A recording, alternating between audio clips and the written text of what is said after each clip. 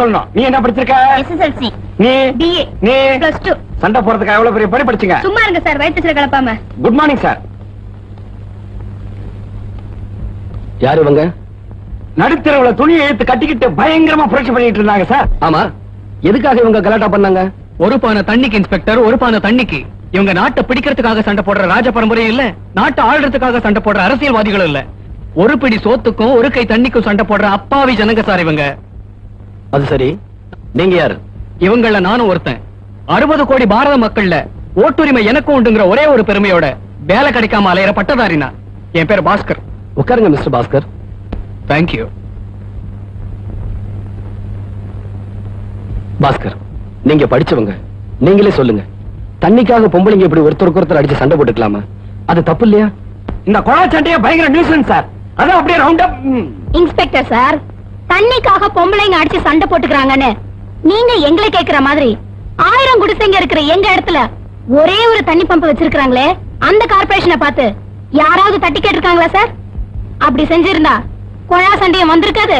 நாங்களும் இங்க வந்திருக்க மாட்டோம். இத பாருமா நீங்க சொன்ன விவரத்தை எல்லாம் சம்பந்தப்பட்ட அதிகாரிகளுக்கு தெரியப்படுத்தி வேண்டியதை செய்ய சொல்றேன்.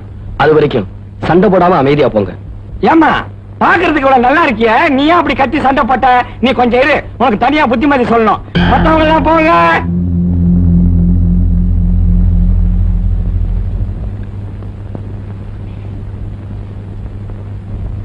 என்ன கண்ணாயிரா? கட்டு காயம் ரத்தம்லாம். ஆக்சிடென்டா ஆட்டோவா காரா? அதெல்லாம் உனக்கு ஒண்ணாவாத ஆகாத? லாரி ரோட் ரோடர் ஏதாவது? அவனை லாக்கப் பத்தலு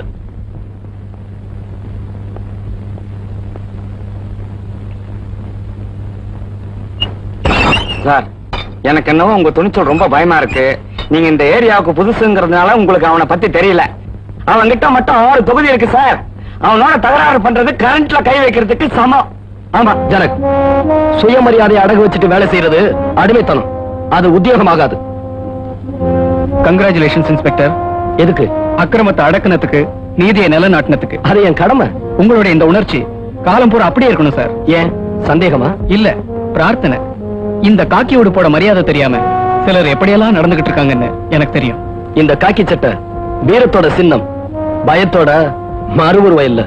உங்கள மாதிரி நாட்டுல உள்ள எல்லாரும் நினைக்க ஆரம்பிச்சிட்டா நம்ம நாட்டுக்கு உண்மையான சுதந்திரம் கிடைச்சிடும் நான் வரேன் இன்ஸ்பெக்டர். ஓகே. சார் இந்த வெட்டி பைய பேச்ச கேட்டு உணர்ச்சி வசப்பட்டு எதையாவது செஞ்சு மாட்டிக்காதீங்க சார். இந்த கண்ணாரத்தை பத்தி உங்களுக்கு தெரியாது. நம்ம தான் அப்படி இப்படி கண்ணு காணாம விட்டுட்டு போயிடணும். இவனை தத்தெடுத்து வளர்க்குற அந்த நமச்சிவாயம். அவனுக்கு இந்த விஷயம் தெரிஞ்சா நாளைக்கே உங்களை இங்க இருந்து மாத்திருவான். சார் உங்களை எனக்கு ரொம்ப பிடிச்சிருக்கு சார். நீங்க இங்கேயே இருக்கணும். தயவு செய்து ஆமா. இவனோட தத்தப்பா பேர் என்ன சொன்ன? நமச்சிவாயம்.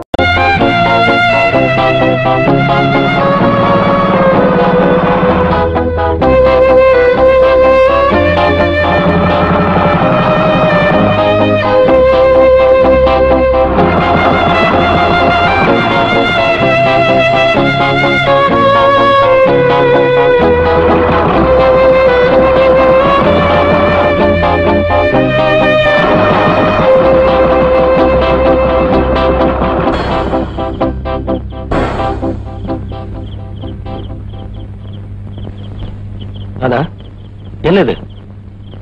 ராஜா தயவு செஞ்சு என்ன போக விடுங்க. கண்ணாடி மாதிரி இருக்கிற உங்க வாழ்க்கையில கரை ஏற்படுத்த நான் விரும்பல.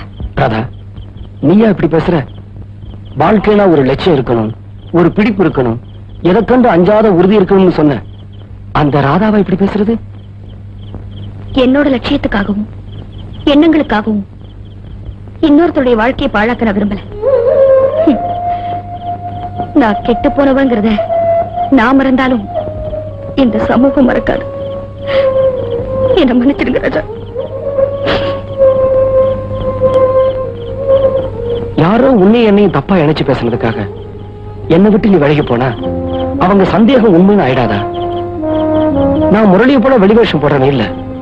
உண்மையான மனுஷன் நேர்மையான போலீஸ் அதிகாரி. அதனாலதான் நான் உங்களை விட்டு விலகி போகணும்னு ஆசைப்படுறேன். எந்த காரணத்தை வச்சு உங்களை பழி உங்க எதிரிங்க காத்துக்கிட்டு இருக்காங்க. நான் அந்த காரணமா ஆயிடக்கூடாதுன்னு தான் பயப்படுறேன். அப்படிப்பட்டவங்களுக்கு நான் உங்ககிட்ட முறைகடா நடந்துகிட்டனாலதான் நீ ஓடி போயிட்டேன்னு. என் மேல பழி சுமத்த எவ்வளவு நேரம் ஆகும்?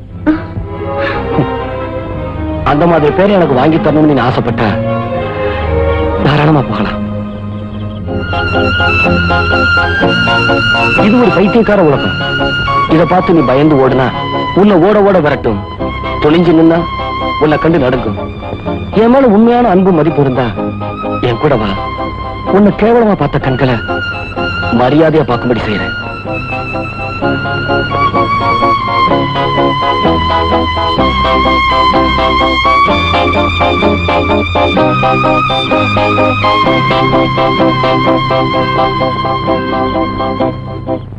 டாக்டர் என்னப்பா சொன்னாரு? நான் அப்பா ஆக போறேமா இனிமே ராதாவை நீதாமா ஜாக்கிரதையா பாத்துக்கணும்.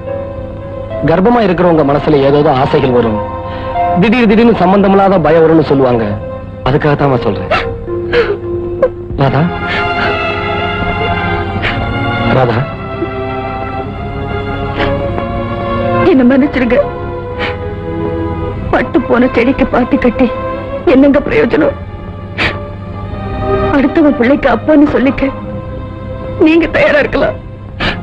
ஆனா அப்படி ஒரு கலங்கத்தை உங்களுக்கு தர நான் தயாரா இல்லைங்க.